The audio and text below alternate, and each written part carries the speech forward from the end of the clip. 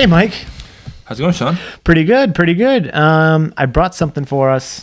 You got a nice little present from uh, San Francisco. Sir. Yes, I uh, managed to trade a heady topper on my last uh, business trip to San Francisco for some for two bottles of um, Alpine Brewing, which I've never actually heard of, but I hear is rather delicious. And from looking them up, I'm really glad I made the trade. They're Um, oh, Session India Pale Ale called Hoppy Birthday. Actually, just look at the, the I did. It's pretty bad. the label's pretty awesome, actually. Um, yeah, so it's uh, 5.25%. Um, the most celebrated beer in the world. Truth is, everyone has a birthday, and when you want to celebrate, this session IPA is a gift to the senses. Made with six different hops, this bold brew is refreshing enough to enjoy again and again. Now make a wish and blow out the candles, but don't tell anyone or your wish won't come true. Drink Alpine Ale or go to bed. Well, I was excited. Big honking bottle opener doing its thing. Pure hoppiness. That's pretty badass. Oh, that's awesome. These guys rule. So All right, some in there so for us to that, so the head's pretty good. Yeah, this this is a nice fluffy head too. Yeah, and the lacing's sticking for something that that that that that, that low ABV, right? Yeah. So this is like a tangerine, burnt orange type color. Yeah. Nicely uh, unfiltered Yep. ish. Yeah, unfiltered. Whoa.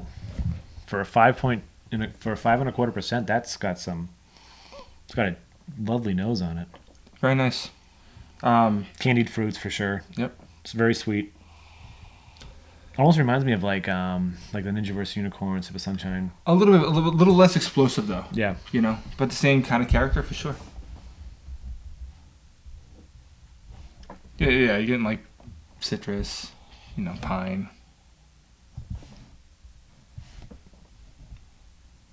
I'm almost getting like a like a caramel kind of a. A little bit, yeah. Yep. I literally just went up my nose. um, I can get some grapefruit, some.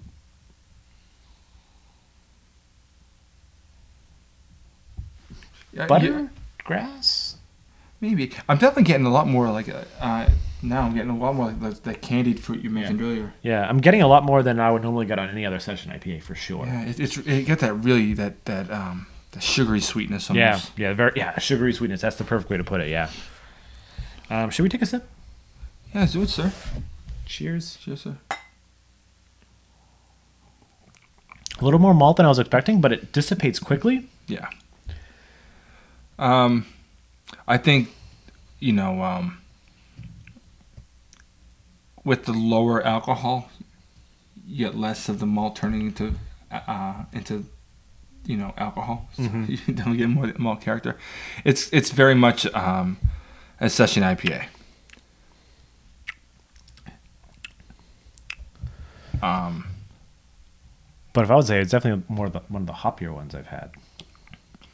yes. It's a little bitter on the back. Yeah, you're getting bitterness. Um,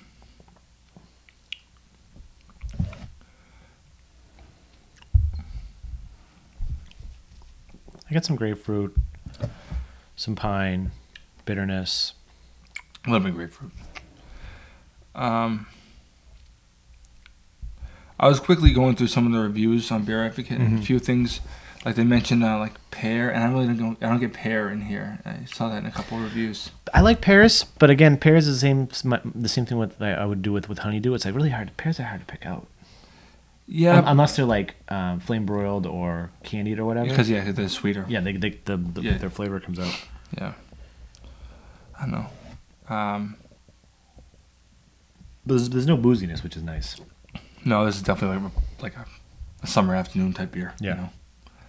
Um, has a lot more character than like um, than like what my go-to um, session IPA is like a all day For sure. or whatever. This is a lot more character to it. Mm-hmm. Um, but definitely um, not overwhelming. You can drink a lot of these if you so choose. Yeah.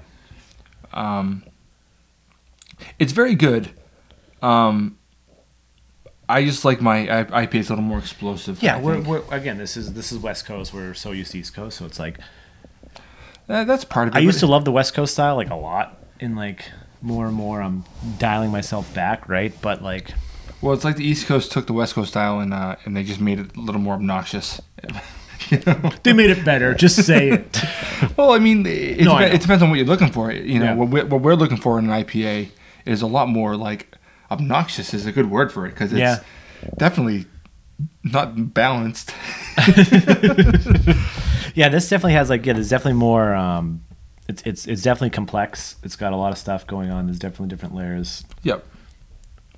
You know, and it's a little bit like you're getting like um kind of floral notes a little bit. And at the very end, I get like the sweetness. I get the fruits. Mm-hmm.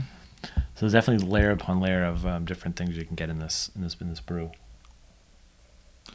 Yeah, it's really nice. It's just um like I said, it's it's just not explosive like I like my IPAs, you know. But if they put this in like 12 ounce cans, yeah.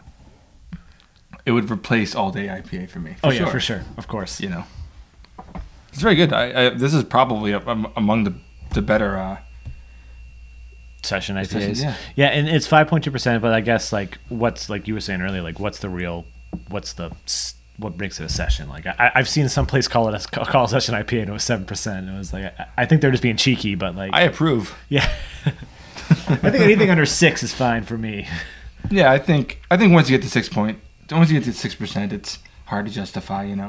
But I think they generally accept it as like about five percent. So I feel like usually with session IPAs, you get like um, it's not a you get the malt, but there's something there's a flavor that I can't pick out. Like I get it a lot, and it's just like a weird like malt flavor that comes with it.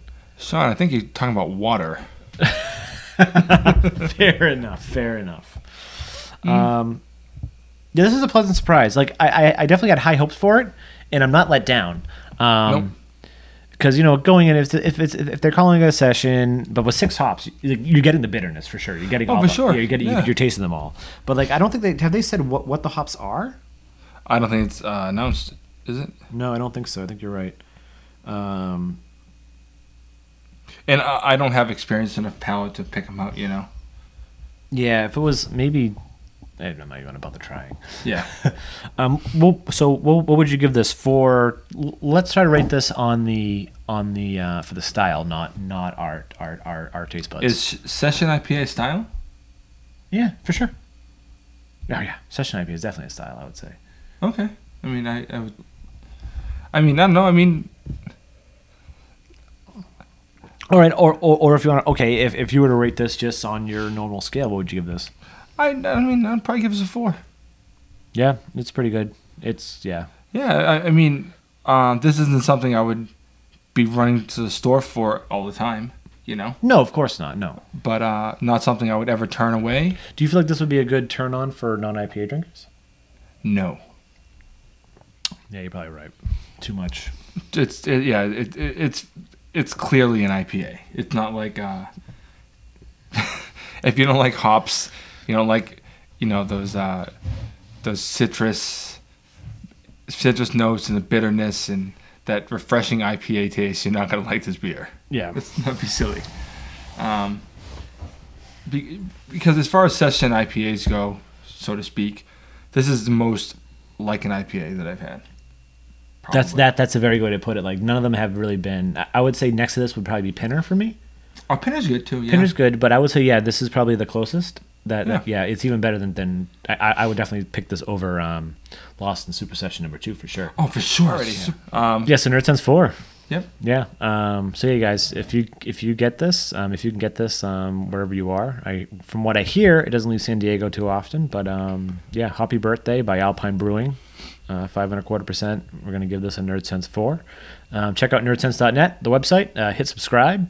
Um, like this video. Comment if you had it before. Let us know. Like, I'd be really curious to see what other people think about this, es- especially hopheads, what they think about this in um, regards to other sessions. Um, any final thoughts?